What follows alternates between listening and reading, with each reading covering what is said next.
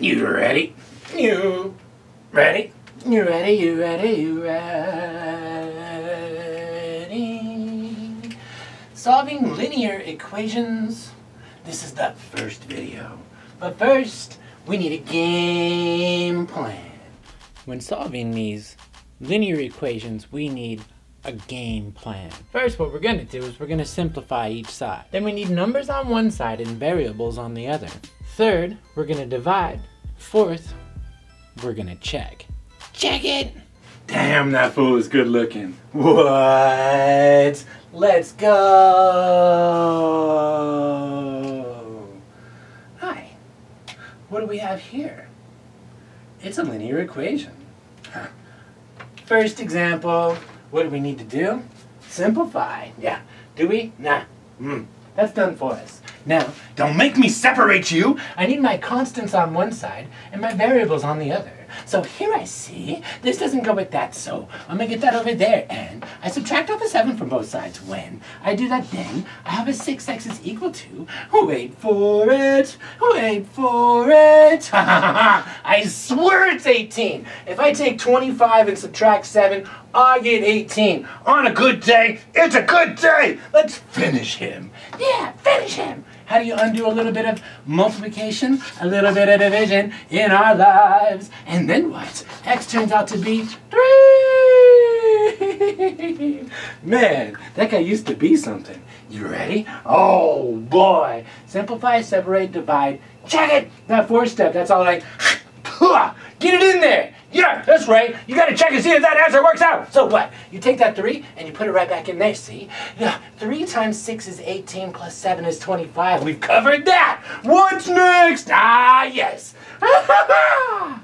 2. What? Ah, 2. No, that's step 4. Yes, simplify each side. Here, I've got nothing to combine. That's going to be on my fourth example. I only see three examples. Worry about yourself. We'll get there. What now? now we're here. Yes. So we don't need to simplify, but we do need to separate. Why?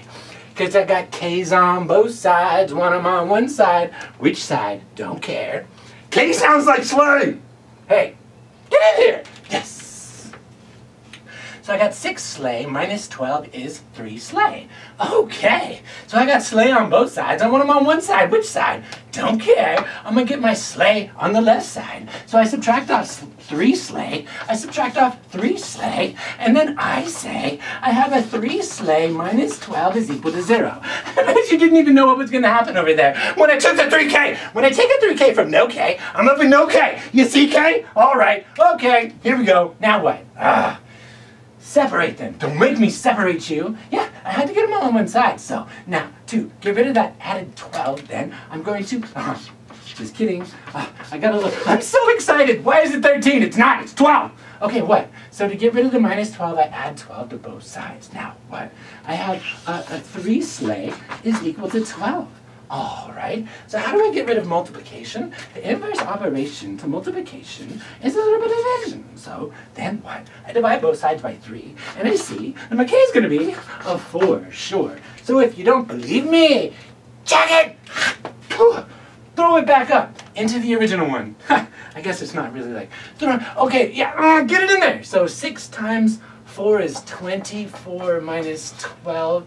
Is that equal to 4 times 3 is that 12? 24 minus 12 is that 12? Yes! Box and flower. Gosh, that feels good. Oh boy, let's get another one. Another one. Yeah, Khaled, let's go. What? I got constants on both sides. I got sleighs on both sides. Let's get the sleigh on one side. Which side? Don't care. Mm-hmm. Left siders, subtract a 5k. Yeah, sure. You're never gonna see me doing a 5k. Look at this dad bod. Yeah. Oh, let's go. Ah, so this is 20. Oh no, that's not 20. It's uh 2k.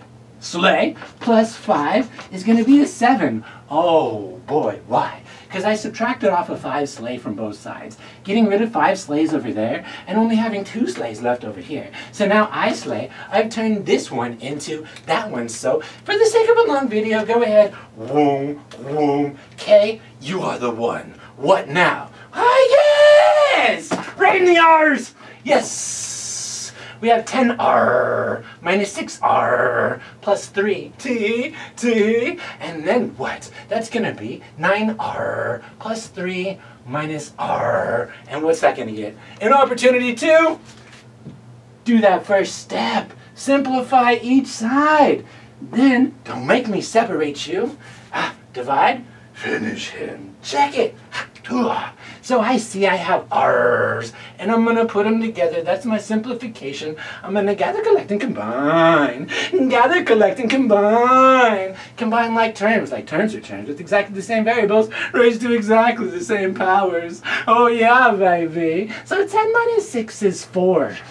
R plus 3, T, T. And then on the right side we see we have 9R minus an R, gonna make 8R, R. So then I still have that 3. Why? I can't combine these, they're not alike. And these are not alike. So now I got R's on both sides. One on one side, which side? Don't care. Woo! Ah, now, there's two types of people in this world. There's left-siders, where the variable always has to be on the left. And then there's positive people people where the variable always has to be positive. Neither one of those people are wrong. And here, neither one of those people are going to get appeased. So from here, we're going to go and seize that. Uh, let's get the R's over there. No, positive people, this is for you. When I said yeah. Okay.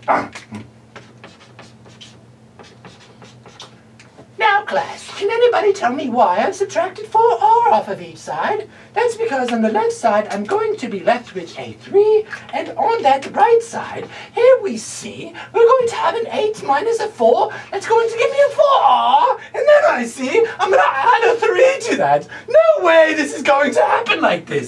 You can very well tell he does not work these examples out ahead of time. Now what? Subtract that 3 off each side. Why? Because don't make me separate you. I gotta get my X's on one side. Well, you know what I'm saying. You've heard it before. So what? I'm going to leave that 4R there, and I'm going to subtract off that 3. T, T, T, because I'm trying to get the R's all by themselves. Right now there's four of them, and that's going to be nothing. Oh, no. Now what? Finish him. All right, but that zero's over there. Zero's a number, too. You got to treat them all the same. All right, so then I, I divided by 4. I divided by 4. And so then I got my... my R's nothing. Boxing flour. Oh, wait.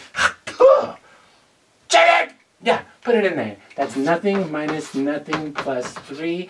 Is that equal to nothing plus 3 minus nothing? Is 3 equal to 3?